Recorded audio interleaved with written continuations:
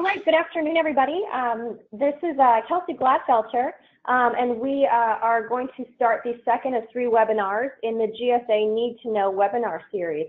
And today we are tackling a, a topic that affects all of us, and that is uh, policy and aging.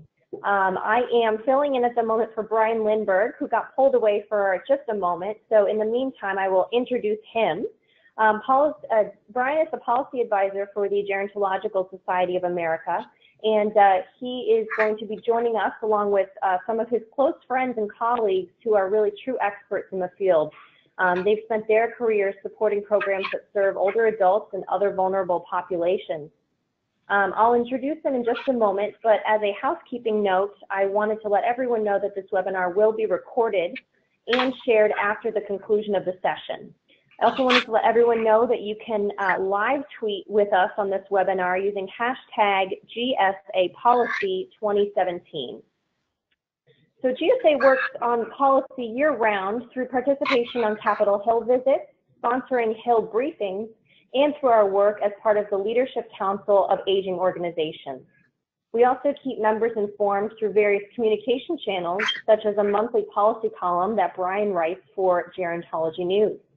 We are lucky to have gathered, as I mentioned, this panel of leaders this afternoon for today's discussion about policy in the field of aging, particularly in the midst of the tax legislation debate. So we are looking forward to a lively discussion and interaction with all of our attendees today. So I'm going to uh, move along and introduce um, our panelists who I will ask them to give a brief introduction about themselves and to get to know them a little bit better, I will ask them to share just a quick quick sentence about what is keeping them up at night lately uh, in regards to aging policy. So I'd like to start with Tricia Neuman from the uh, Henry J. Kaiser Family Foundation. Tricia?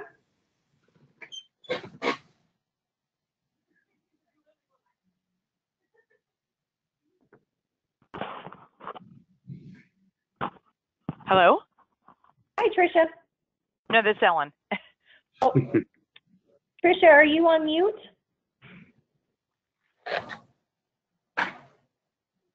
Perhaps. Okay, um, then let's move on to um, Ellen and we'll swing back around for Tricia. Ellen, do you want to go ahead and tell us a little bit about yourself?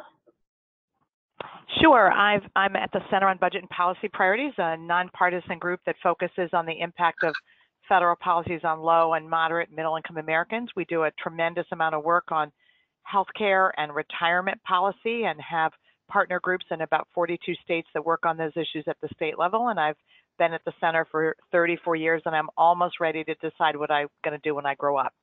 Um, what keeps me up at night um, that certainly affects the elderly uh, population and aging policy, but also the rest of the country, is the phenomenal risk that this Congress is going to make one of the most consequential decisions of our lifetime that will cause tremendous harm to the people in the communities we care about by cutting taxes for very wealthy Americans and corporations without paying for it, which will lead, as I'll explain in a few minutes, to very deep cuts in programs that we all agree are absolutely essential to supporting our elderly population.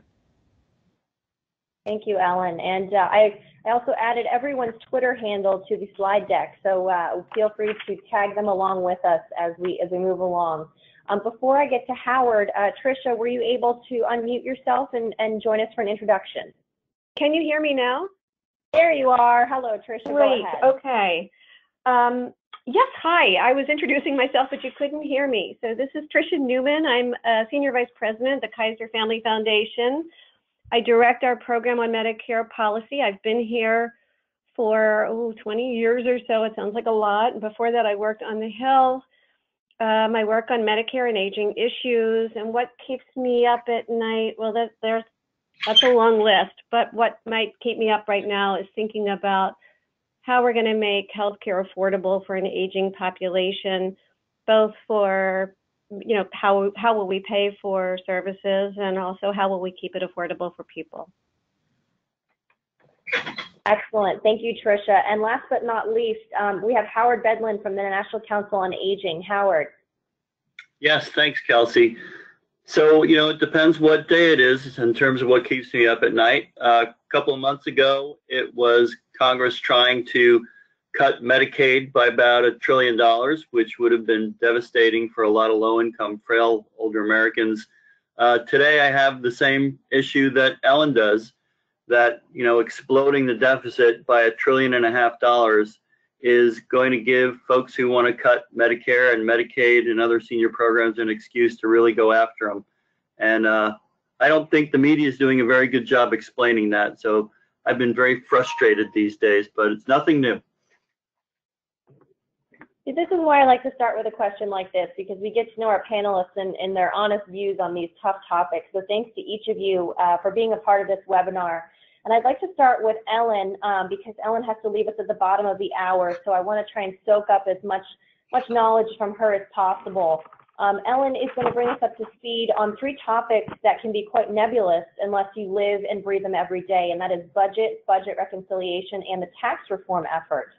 Um, so as Ellen uh, goes through some of her remarks, I want to remind everyone to please submit your questions for Ellen and the rest of our panel um, using the uh, question function on your toolbar, and we will get to those throughout the hour. So uh, Ellen, um, thank you again for making time for us today and helping us understand how the budget affects health programs. Um, could you say a little bit about why that's important to all of us and, and take us through some of your thoughts? Right. Um, thanks so much for having me. So let's remember there are three parts to the budget writ large at the federal level. There is what we think of as spending, which is spending on what we call entitlement or mandatory programs like Social Security and Medicare and Medicaid and SNAP and SSI. There is spending on what we think of as um, discretionary spending, um, which is uh, just another term for appropriated spending since Congress has the discretion to set the levels for those programs. And then there's the tax part of the budget.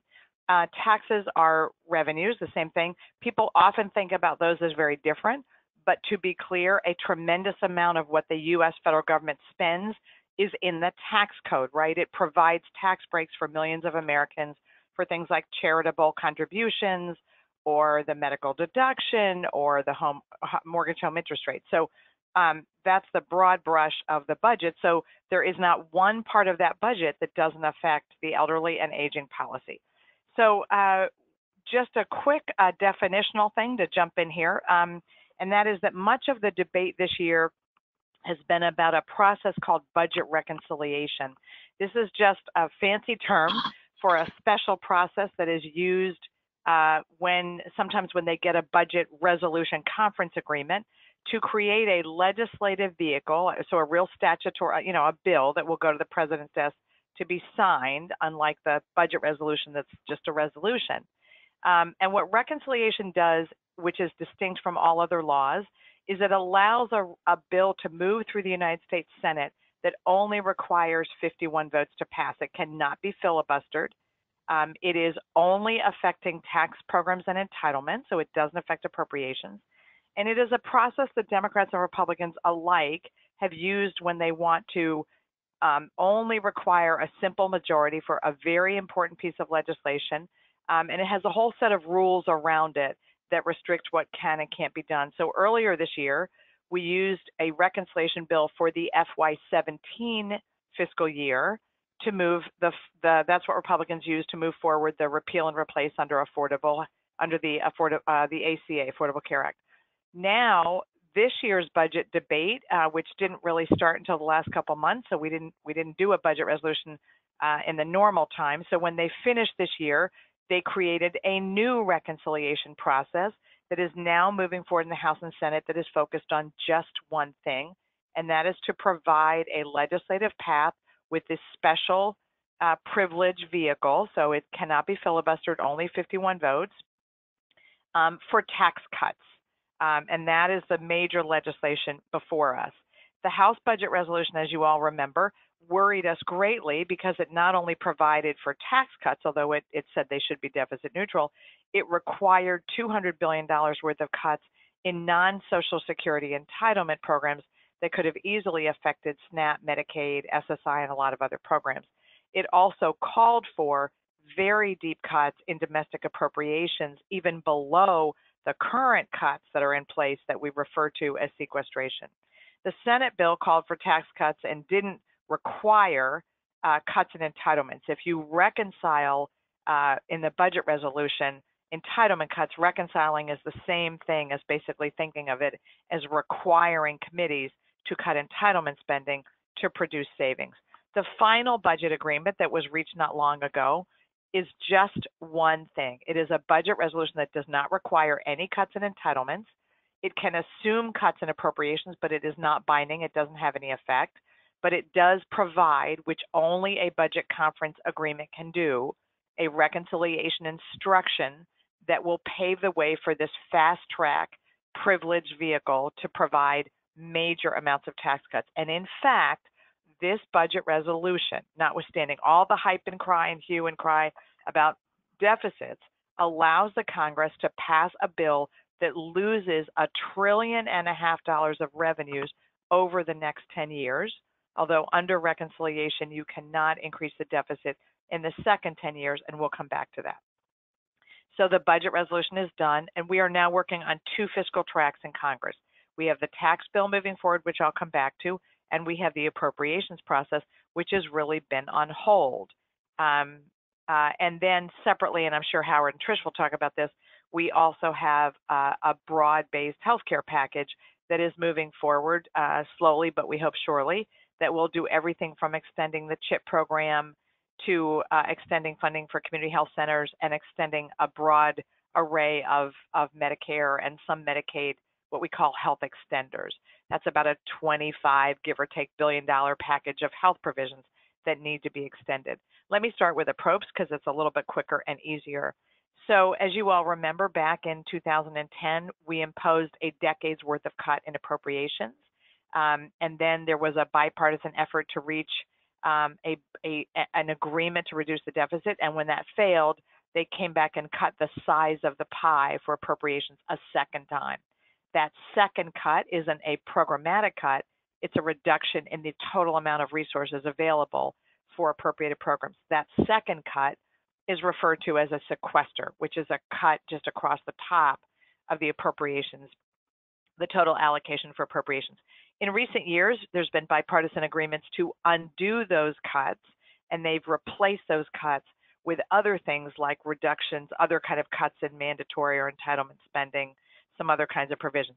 Well, the sequester is back, and for the fiscal year that started in October, for all of those appropriations bills, we would see deep cuts in the in the total amount of spending for defense and non-defense that would require the bills to then reduce spending for various programs. Neither party wants the sequester to take effect, and so there is bipartisan and bicameral interest in another deal, probably for two years, that would undo those so-called sequestration or so-called extra cuts. The only way to undo that is to come up with other spending cuts on the entitlement side, most likely. We do not expect Republicans to agree to raise revenues um, to pay for, to replace the lost deficit reduction.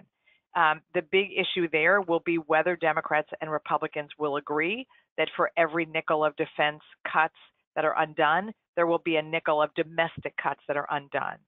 Um, so those uh, the appropriators cannot do their bills this year until they know what the size of the pie is for approps and until they know um, whether the cuts that are embedded this year will be undone. And most importantly, uh, if they do reach an agreement around that, there is a huge question about how much of the relief from the cuts will make its way to the Labor HHS subcommittee versus making its way to Homeland Security or others. So the appropriations process is on hold until the congressional Republican and Democratic leaders can try to reach an agreement uh, to replace the sequestration with other cuts and then to decide how the uh, extra appropriations dollars will be sprinkled across the entire uh, across uh, I mean the defense and non-defense would be get an equal amount of relief, but how it would be spread across domestic programs. Um, there was expected to be the, the, the, government is operating on a continuing resolution until early December. It was expected that in December the Congress would come back. They would finish all of their appropriations bills, probably in one bill that would be referred to as an omnibus appropriations bill. And omnibus appropriations bills, especially when they're the end of the year, often carry all kinds of other legislation as kind of a wrap up vehicle. It is increasingly, um, there are increasing signals from Republican leaders that they will not be able to get the omnibus appropriations bill done in December, that that will they'll have to do another short-term continuing resolution and and kind of stay on autopilot until January, February of next year, at which point they would try to finish the appropriations bills, ironically, for the year that started the previous October. So we are again going to be well into the fiscal year before we know what the final appropriations are, assuming they can reach agreement. So that's kind of where we are on the on the budget and appropriations path. And I think I'm sure as Howard and Trish will talk about this emerging healthcare package, it is quite possible that when they work on this healthcare extenders package, it would get added to uh, whatever appropriations vehicle is moving. So we might have another continuing resolution in December, and then as uh, then when they get an agreement on the top line uh, undoing sequestration, then the appropriators would spend December writing their bills. But the single biggest action in front of us, and the one that will have by far not only the most significant impact on the elderly, but the most long-term impact uh, in terms of resources available for programs that support the elderly is in fact the tax bill. So as I said, the budget resolution allows the Congress to pass with a simple majority in the Senate a bill that loses a trillion and a half in revenues over the next 10 years. The tax bill that is before us in the House and being unveiled this afternoon in the Senate, we believe actually loses more than 1.5 trillion in revenues. It loses way more than that, uh, and the Joint Tax Committee has acknowledged that for the House. So what they did is they found ways to they found some offsets to bring the total amount of revenue loss back down to a net of 1.5 trillion.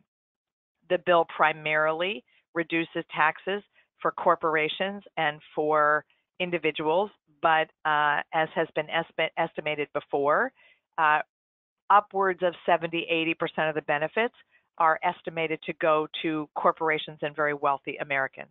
It includes a bevy of tax breaks for businesses. It includes uh, further tax cuts in the estate tax, even though all married couples don't pay a nickel of estate tax unless their income is over $11 million. It increases the standard deduction and has a number of other changes. Um, and the House and Senate have somewhat different bills. The House Ways and Means Committee will pass their bill today, and it will be on the House floor next Wednesday and Thursday, and they intend to pass that bill before they leave for Thanksgiving.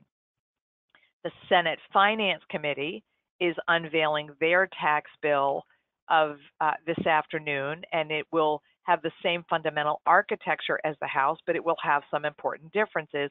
For example, the House repeals the medical deduction, the item, the medical deduction for itemizers. The Senate does not. This is effectively a two-step process, or sometimes I like to think of it as the two-punch process.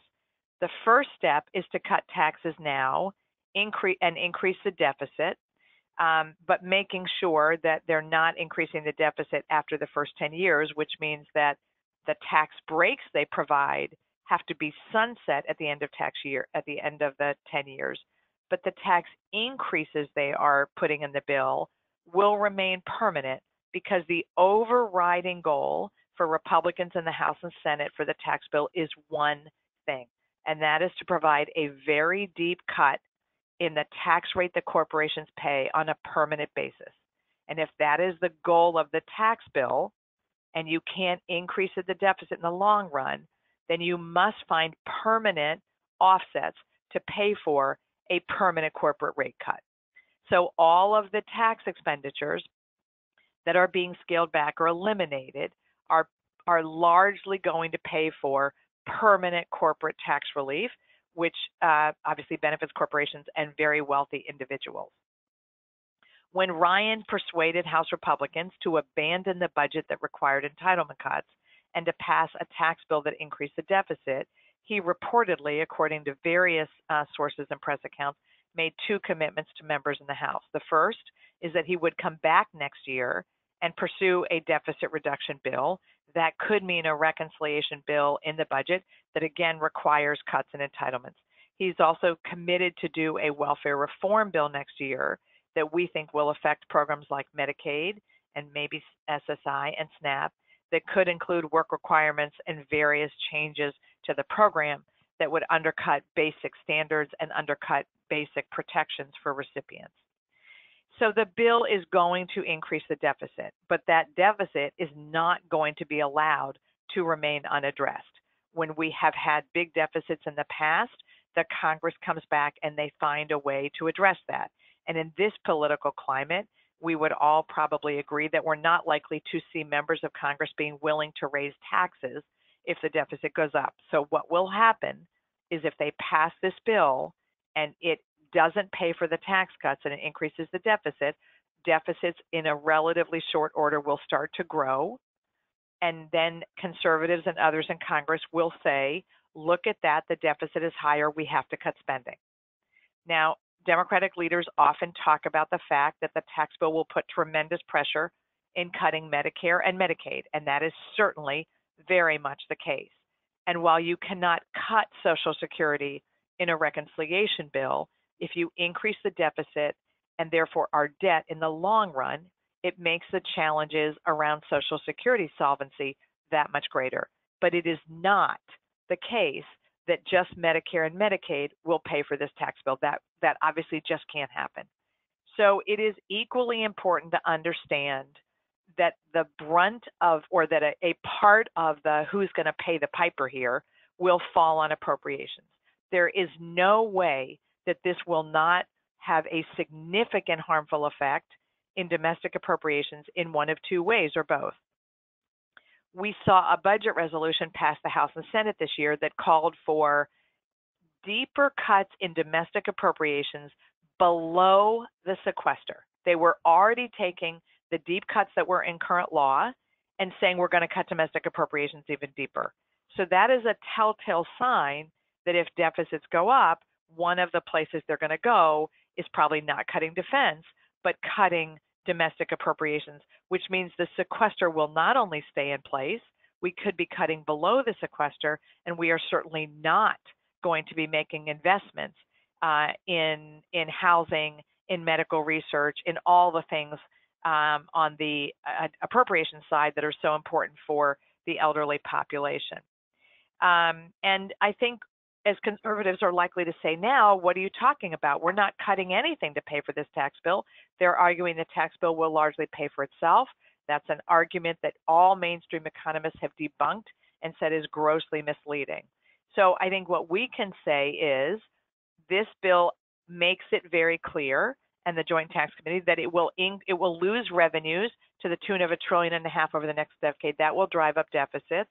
And so those deficits are going to likely force these big spending cuts. So the two punch or the two step is cut your taxes now and then come back and cut spending.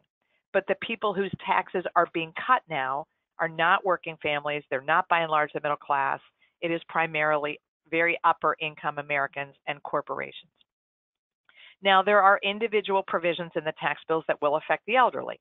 So you've got the House and Senate having different uh, approaches to the medical deduction. You have the state and local and uh, state and local income tax deduction. Uh, the House has scaled it back a little bit. The Senate apparently is going to repeal the whole thing. Um, that is important tax relief for people in the states. It also is a hugely important source of revenue for states to pay, states and counties to pay for very important public services at the state and local level. Um, but I think the way to think about the tax bill is not to worry necessarily about individual provisions in the tax bill because they may fix some of those and move them. The way to think about this tax bill is this is a bill that will increase the deficit um, to pay for permanent tax cuts for corporations and wealthy ind individuals, which will force deep, deep cuts in the across the board in critical programs for our elderly communities around the country. One other thing to note is that the House and Senate bills, each of them, have particular problems, and neither bill is likely to be signed into law exactly as it is. There's going to have to be compromise. And the political pressures are very intense on Republicans to undo some of the provisions they've done that scale back certain tax expenditures or raise taxes on certain on certain uh, kinds of entities. That means that it will be harder for them to limit their total net tax cuts to 1.5 trillion. And so they are going to be looking for offsets. And one of the things that has been put on the table in recent days as a way to make their math work to kind of keep their net tax cut down to 1.5 trillion is to repeal the individual mandate of the Affordable Care Act. This Congressional Budget Office yesterday updated its estimate of this and said 13 million Americans would lose coverage under this and millions would see their premiums go up. Significant numbers of people between the ages of 50 and 64 would be affected both by the loss of coverage and particularly by premium increases, um, especially in high cost states. So the individual mandate is not in the bill coming out of the Ways and Means Committee. It's not, I, I don't necessarily think they will add it to the House floor. It's not in the bill that is uh, going to be unveiled this afternoon for the Senate Finance Committee. But there are strong forces pushing to include the individual mandate in this bill as a, as, an, as a way to really, since they couldn't get repeal and replace passed, as a way to really begin to undo the Affordable Care Act. And so we want to be mindful of that and ready to respond to that as well. So where does that kind of leave us? Well, that leaves us, I think, with a little bit of a conundrum for many groups because lots of groups don't work on tax policy. They don't work on the estate tax or charitable giving or corporate rates or individual rates. But we have all been in places before where there's a major piece of legislation that could have potentially devastating effects on the communities and programs that we care about. And this is one of those seminal moments. And I think it is incumbent upon us to find the way. We don't have to we don't have to opine on the estate tax or the corporate rate or the you know whatever it is. But I think we do very much have to find a way to say this bill is going to force cuts in healthcare and other critical programs for the elderly. It is going to have a profound impact on aging policy for years and years to come. Neither bill at the moment um, has crossed the finish line. It is not clear that this that the House bill has the votes yet. We have to look at see what the Senate bill does, but we know that the Senate bill, uh, for complicated reasons I won't go into, is going to run into some trouble with House Republicans, and that means that there is an opportunity to try to educate policymakers uh, about the broader threat of what the fiscal impact of this bill would mean for the elderly community. The Senate will vote after Thanksgiving. That means we have time between now and then to educate policymakers. Again, there may be specifics within the tax bill that you are worried about, but it is absolutely essential that we not miss the forest through the trees and we keep our eye on the ball that they could fix the medical deduction or they could fix this or that. But as long as this tax bill loses at least a trillion and a half in revenues, there is no question that it will come back and force very, very harmful cuts and changes in the programs we all think are absolutely essential to support our elderly population. So why don't I stop there and turn it back and see if there's questions or I don't know if Howard or Trish want to add anything to that. Yes. Thank you, Ellen. This is this is Brian, and uh, thank you so much for those remarks. As complicated as this is, you are really truly the best at explaining it all. Um, let me um, let me. Well, I think we have a uh, time for just a couple questions. I know you have to run, but could you just I'm say a a little bit more?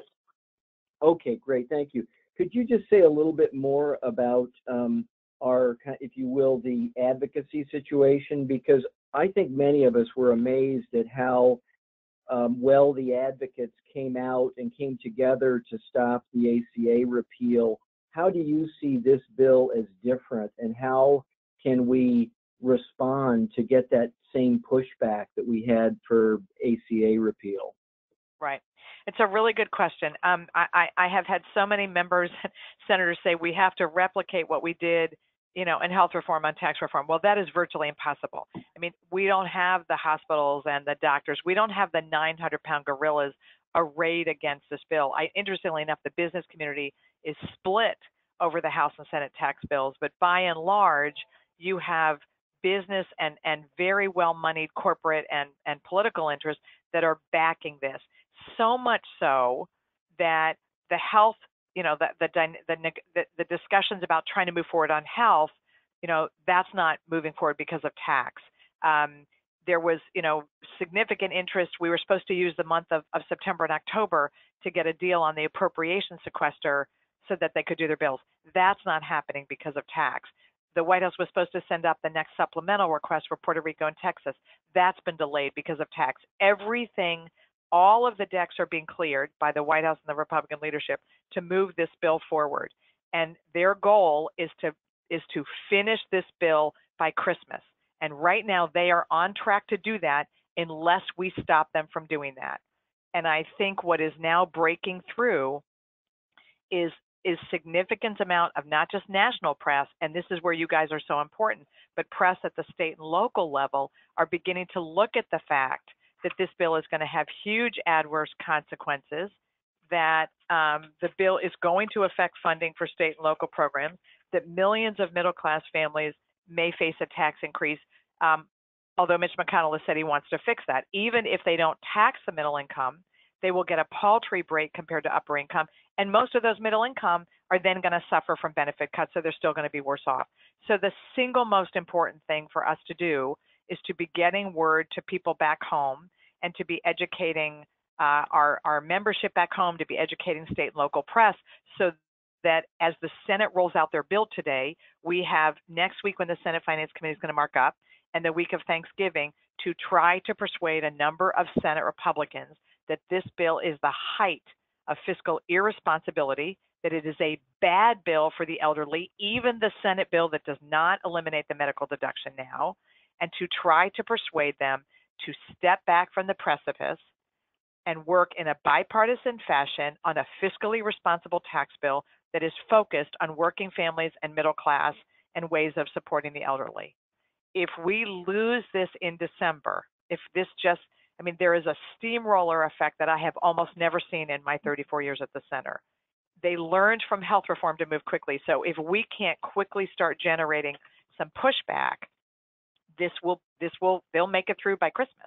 And then we will be right back in February, not just with them coming back on repeal and replace, but with another round of very deep kinds of budget cuts as those deficits start to mount. So it doesn't mean that anybody has to take uh, a position on the provisions of the tax bill, it means that we have to say to members of Congress, we are deeply concerned that this bill, because it increases the deficit, will have devastating consequences for resources for programs at the federal and state level for the elderly. And we are urging you not to support this bill in this fashion. Thank you. Um, Kelsey, do you have uh, a question from the audience?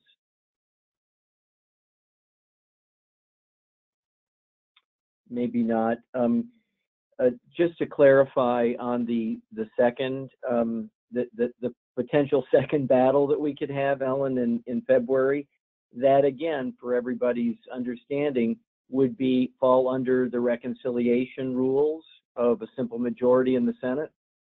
You're talking about the tax bill or the appropriations? Uh... Uh, no, if if um, if they are able to get the tax bill through and and then in the um, in early next year, 2018, um, go after Medicare and Medicaid. Um, uh, would, would that be another reconciliation? Yes, type, that would be um, reconciliation for FY19. So again, right. Paul Ryan has already said they're going to come back and do deficit reduction. The Freedom Caucus folks have said they got a commitment from Ryan that since they had to abandon the required or, or reconciled entitlement cuts in this year's budget, they'll come back. So I think the right. notion, I want to be clear with people, when I say this bill is going to increase the deficit and it's going to force spending cuts, I don't mean eight, nine years from now. I mean starting very, very quickly. So um, yes. the one thing to keep in mind is if the Senate comes, the, right now the plan is, I think the Senate Finance Committee will pass this bill handily next week. It will pass on a party line vote. They are appealing to moderate Democrats in the Senate. So if those are your senators, you want to be engaging with them as well. But when this comes to the floor after Thanksgiving, just to be clear with people, there's only 20 hours of debate on one of the most seminal pieces of legislation, a generational lifetime decision. 20 hours of debate, followed by what we call vote-a-rama, which is voting on lots of amendments. But what we know is that when a reconciliation bill comes to the floor, it is very difficult to change. And in this case, trying to undo some of the damage would require kind of offsets and other things. So I think as it moves forward, the more it moves forward, the harder it is to change. So um, I want to be clear with people. I've been asked by a lot of different groups, how do I fix the medical deduction or the orphan drug deduction or the child tax? There is no way to fix any individual provision that doesn't change the fact that the bill in toto is still an extremely damaging bill. So that's why I really urge people to keep their eye on the forest and not the trees here. The fact that the Senate, for example, didn't eliminate the medical deduction is great. It doesn't change the fact this is a very, very, very bad bill for the elderly. Um, Senator Bob Casey, who's the ranking Democrat on the Aging Committee, put out a two-page fact sheet today on all the ways the bill is bad for the elderly. So as this moves forward out of the Finance Committee next week to the floor, that is our opportunity to slow this thing down and try to prevent McConnell from getting 50 votes. If he has 50 votes, Vice President Pence will break the tie at 51. They'll go into conference and, you know, they'll be done very quickly. Yeah. Well, I, I know you have to run, Ellen. Thank you so much for joining us today. We really appreciate it. And, and the ongoing work you do, um, really helping Congress understand their own process. And um, thank you again for your time uh, during one of the busiest weeks of the year. Thanks. Thank you so much for So- having me. Thank you. Um, Tricia, uh, let me turn to you um, to give us Can you hear a me? sense of. Uh, yes, I can. Um, Okay, and, great. uh, uh, let me turn to you and, and ask you to uh, give us a sense of Medicare and what we can expect uh, in the coming months and down the road. Um, and um, as you do that, I just want to remind attendees that they can submit their questions um, uh, on the Q&A function on Thank you. Okay, thank you, Brian. Uh, that was quite a tour de force by Ellen. And what I want to do is kind of move at a clip to pick up where she left off because uh, the tax bill is an extraordinary, extraordinary change in terms of federal budgeting, which has major implications for Medicare. Um, but before I talk about what kinds of changes could be in store next year that um, Ellen raised, I want to um, turn to Exhibit 2 and talk about just a few Medicare policy issues that are being talked about uh, actually now. So Ellen talked about the tax bill that was that is in committee that would increase the deficit by one and a half trillion dollars, which, which is likely to go to the floor and move quickly through the Senate. This will put enormous pressure on Congress next year, if not this year or the year after, to enact major changes to Medicare and Medicaid in order to reduce the federal spending. I'm sure many of you on the call remember the budget summit that took place in the White House when there was concern about the federal deficit and the federal debt. Um, that doesn't seem to be an issue right now, but it's not hard to imagine after a tax cut of this magnitude passes that fiscal conservatives will be back at the table looking to see enormous cuts in in Medicare, Medicaid, and other programs in order to reduce the deficit that um, will will grow if the tax bill moves through as it's planned. Um, there is, as Ellen mentioned, a deduction for medical expense, expenses under current law that would be eliminated. That has a huge impact on um, older adults, particularly those with. Yeah, thank you for uh, changing the slide. Uh, older adults who have long-term care expenses. There are a few other provisions that are um, moving through the House and the Senate. People aren't thinking there's a lot of Medicare going on, but there are some changes. There are higher premiums for higher income enrollees that are being used to offset the cost of the CHIP program. Uh, that would mean for the first time that very wealthy people on Medicare have to pay 100% of their premium for Medicare. Uh, that would be a big difference and a big change in the program and has been controversial, although it only affects the wealthiest of the wealthiest. There is a concern that over time, the um, higher income related premiums would be phased down and affect even more middle income people. So uh, that's worth watching. The House has also repealed what's uh, the controversial Independent Payment Advisory Board. This is, you know, this is a, a, board created by the Affordable Care Act.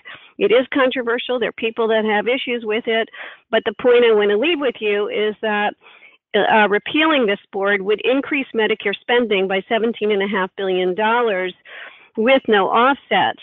That will ultimately affect Medicare premiums and have an adverse effect on the trust fund. When Medicare spending goes up, premiums go up. And this is this, unlike other bills that have moved through, would not find a way to pay for itself. So the question is, what will happen to premiums? Um, at some point, it would be um, worth noting what's going on in the Center for Medicare and Medicaid Innovations, but given everything else that's going on right now, I don't think we have time to talk about that.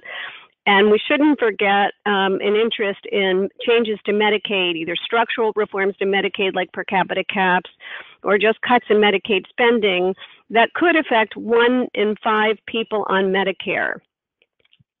So I want to uh, skip over to um, Exhibit 5 because I think this is really the thrust, thrust of um, what we might be seeing next year and the year after.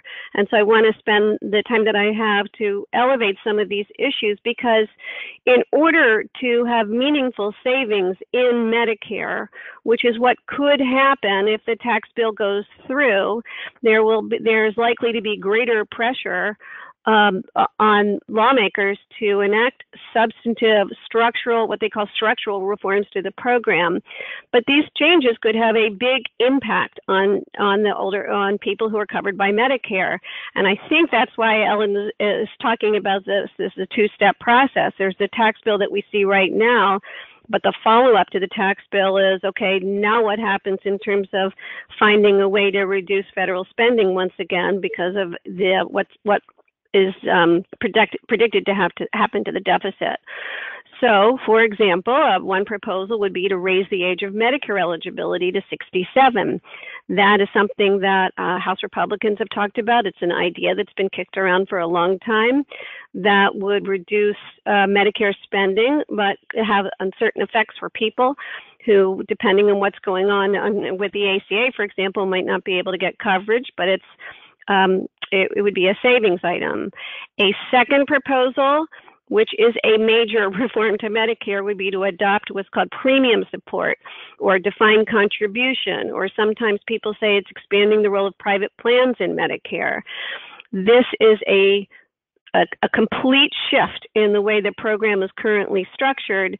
It has the advantage to the government of it limits the government's liability for Medicare spending per person, but it, it shifts the risk onto beneficiaries and encourages them to enroll in cheapest plans in the area. It also makes uh, traditional Medicare more expensive in certain parts of the country. It's a complicated idea. It may be worth giving some thought, but it is a major, major change in Medicare that would be um, looked at as a way to reduce spending. Prohibiting first dollar supplemental coverage, that's already been done a little bit, but there's more that could be done with that. And what that really means is that people would be exposed to higher cost sharing, either deductible, the Part A deductible or more on the Part B deductible. Um, and the idea there is when you expose people to higher cost sharing, they use fewer services. Um, that reduces Medicare spending, but it also means people get less care some may be unnecessary, but some may be needed. A fourth idea to keep your eye on, a, a proposal would be modifying the cost sharing under traditional Medicare. This is an idea that, that could be structured in a way that provides meaningful new benefits to people in the form of an out of pocket cap, but it also could be done to reduce Medicare spending. And one of the ways in which um, it's been talked about most recently would be um, as a saver that would essentially increase deductibles for the majority of people on the program. This is this is a complicated policy to describe. Um, but it's also a popular one, and it has has legs in the House, and I and I could see this being something that comes to the table relatively quickly. I put on this list adopting policies to leverage lower drug prices.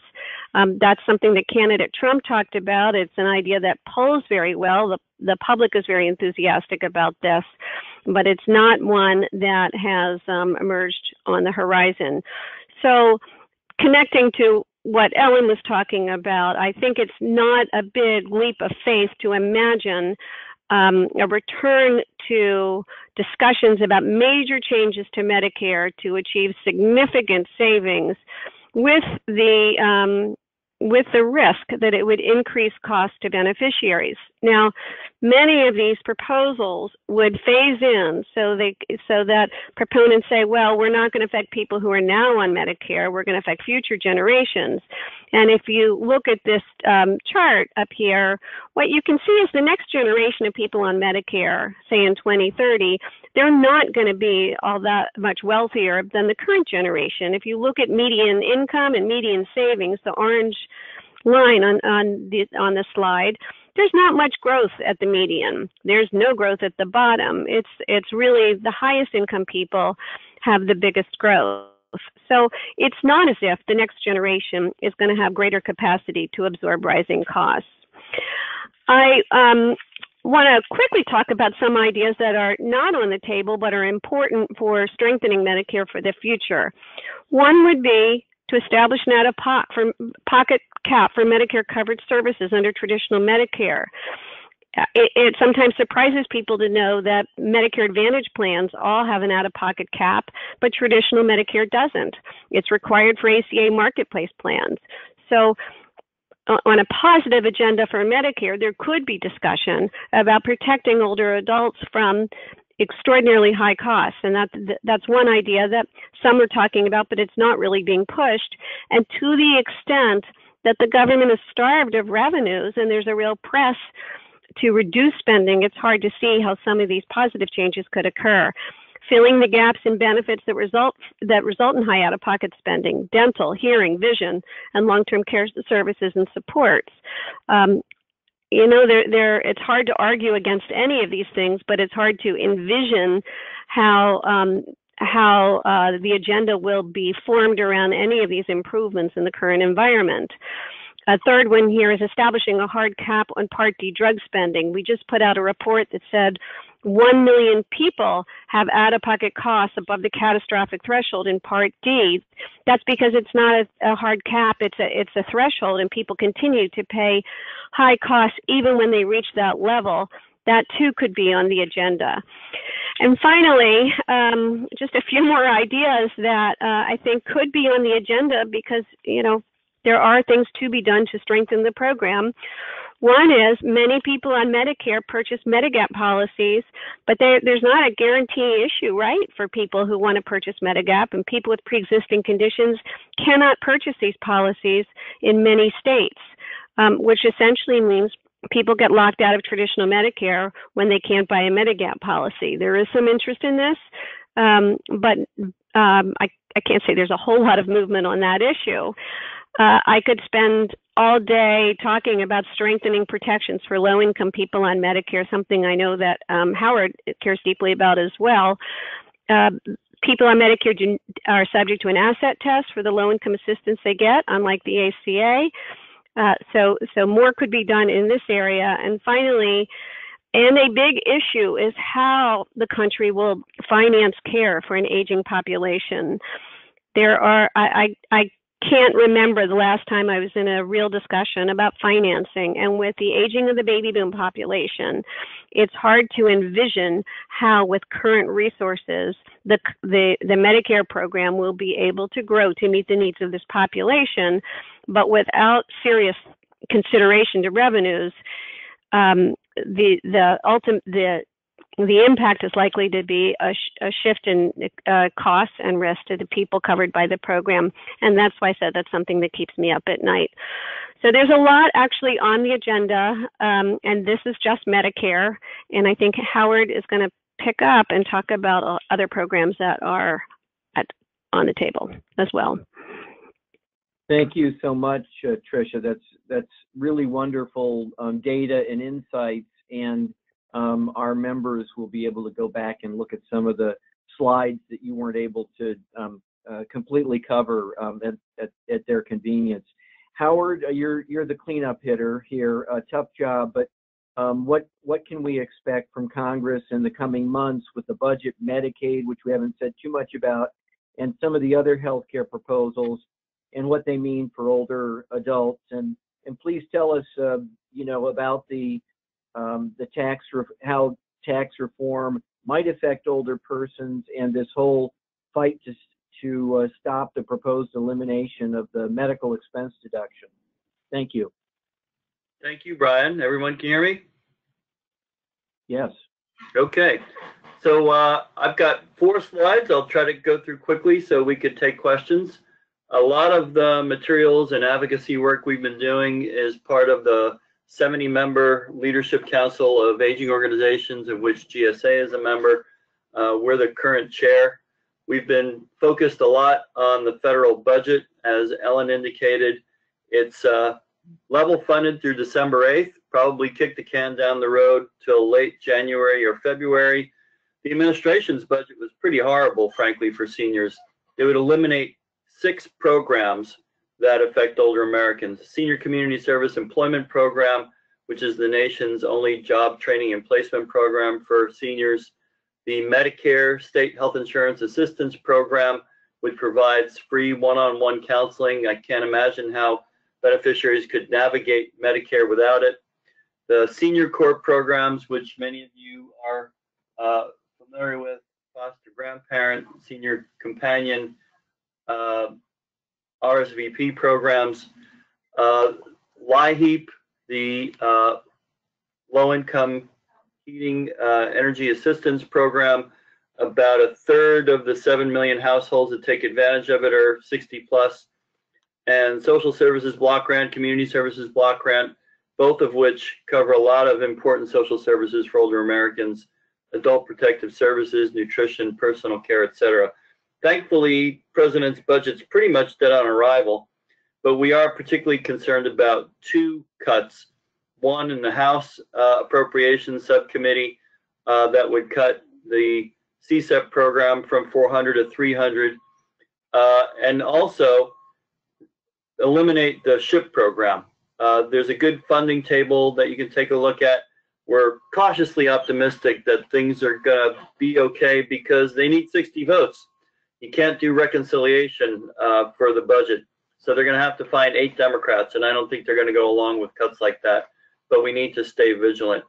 Uh, next slide. I, I think Ellen is exactly right.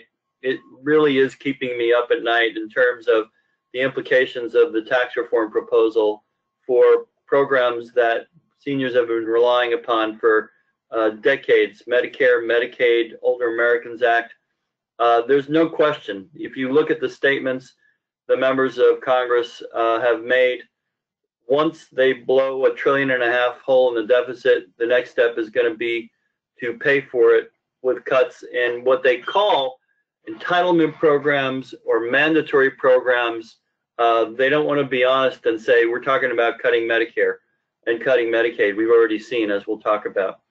Uh, as Brian and Ellen said, medical expense deduction about 5 million people over age 65 use it, oftentimes for very expensive long-term care costs, which can be potentially bankrupting.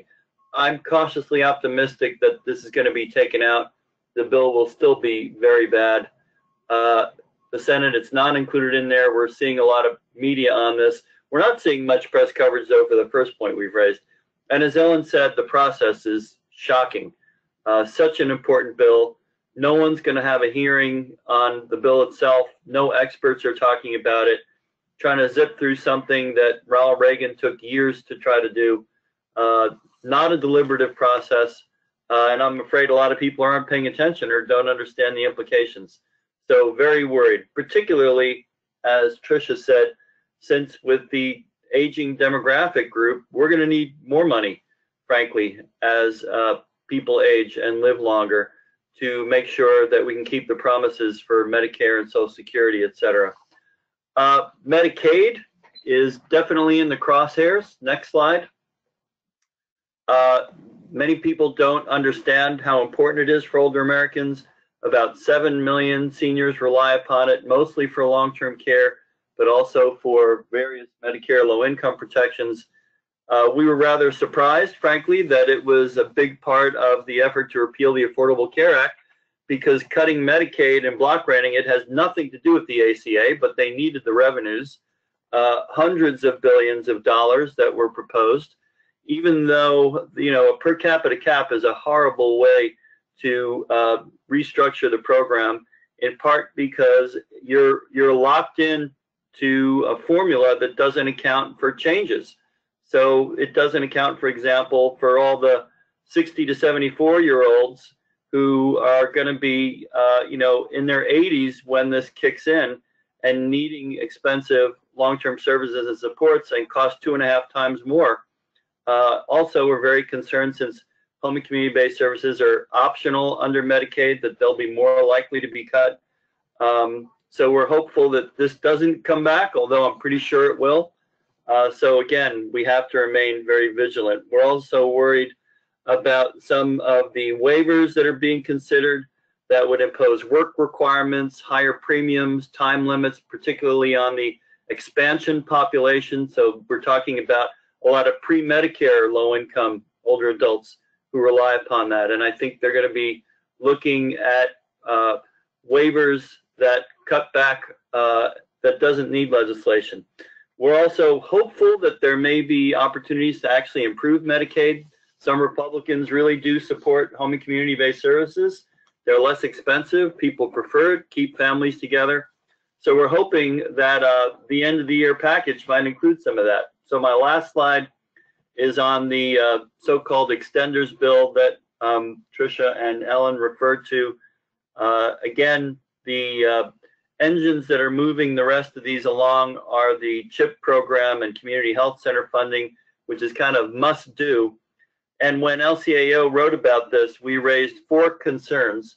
One is that those kinds of changes not be paid for by cutting Medicare uh, or cutting benefits. One of the things that you know is always on the chopping block is the Prevention of Public Health Fund, which includes senior uh, programs like falls prevention, Alzheimer's prevention, and chronic disease self-management.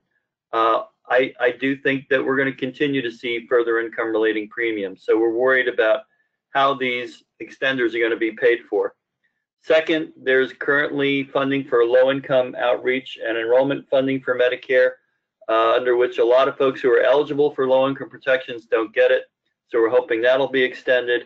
There's a provision on uh, therapy caps. It's been part of these extenders bills for quite a long time.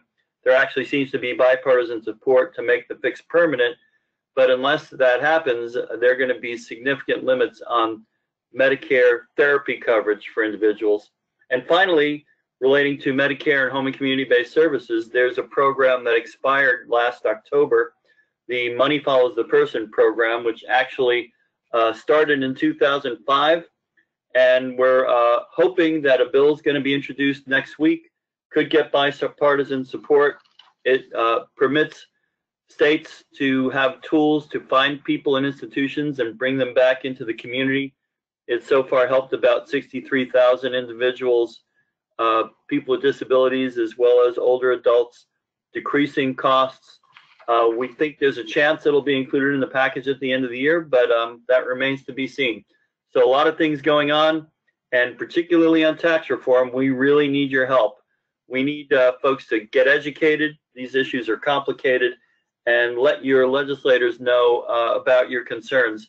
You know, focusing probably on some of the same targets we had under the Affordable Care Act repeal uh, efforts, moderate Republicans like you know Susan Collins, for example, maybe we can uh, get them to slow things down and think about this a little bit more at a minimum.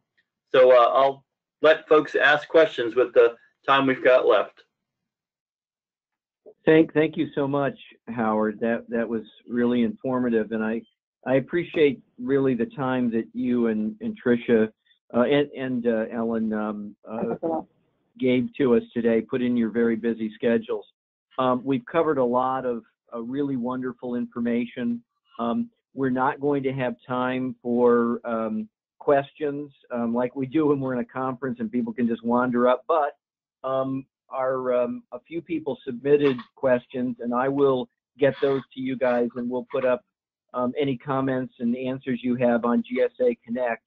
Um, so as a reminder, the, the webinar was recorded and will be shared on GSA Connect uh, later this week.